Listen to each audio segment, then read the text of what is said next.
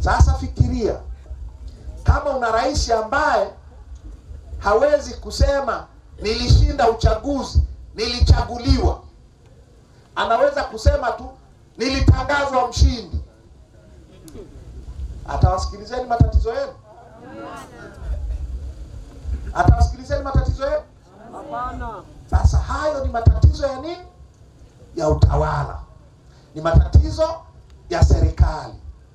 Rais ambaye hamjamchagua anauza bandari, anauza misitu. Misitu imekwenda hata, nafikiri anauza hifadhi, anafukuza watu kwenye maeneo yao, mgogoro kila mahali ya wananchi kunyang'anywa ma, ma, ma, ma, kunyang'anywa ardhi zao au kufukuzwa kwenye maeneo yao amri ya rais. Hana ridhaa yenu, anakuaje na uchungu na nyie? Anakuwaje na uchungu na vitu vyenu? Hamjamchagua, kura hazipo.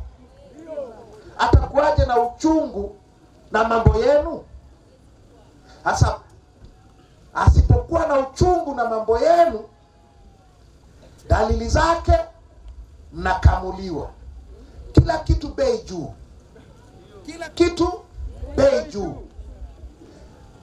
kila kitu ambacho unakinunua wewe, vile unavyouza wewe, wanafanya kila njia kukunyang'anya hela au kukupunguzia. Ukiwa mfugaji, nimeona kuna ving'ombe ng'ombe hapa. Nyie huku sio wafugaji sana, lakini nimeona ng'ombe ng'ombe hapa. Ehe.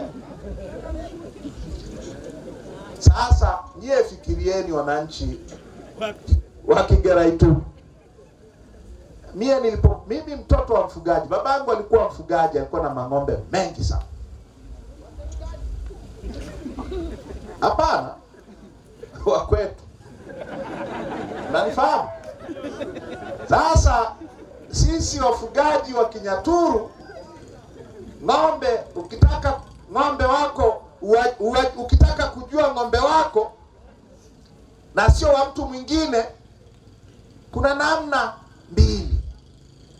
Aidha unawapiga chapa kwenye paja.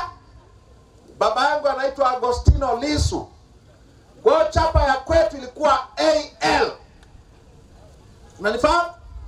Kila kila ng'ombe mwenye AL ni wa kwetu, au kuna namna mnawachanja nini masikio. Wanyaturu wanaita modao, sawa sawa. Ukitaka ng'ombe wasipotee, unachunga porini, unatafuta yule ambaye huwa msumbufu, anatangulia tangulia, unamfungia kengele shingoni, inapiga kelele hata utajua tu wako wapi. Ng'ombe huwa anavalishwa kengele, Wanyaturu wanaita kenda. Unaelewa? Ng'ombe wa CCM sasa wanavalishwa hereni. Wewe umeona wapi? Umeona wapi?